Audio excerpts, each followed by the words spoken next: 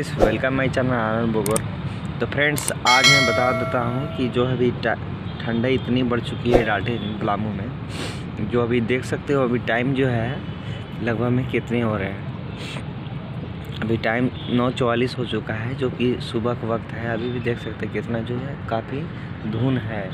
तो देख सकते हैं मेरे पीछे जो है, यहाँ पे मंदिर है, साईनाथ। का और इधर देख सकते हो काफ़ी धुन है इसका। सुबह का वक्त है, काफ़ी धुंध गिर रहा है।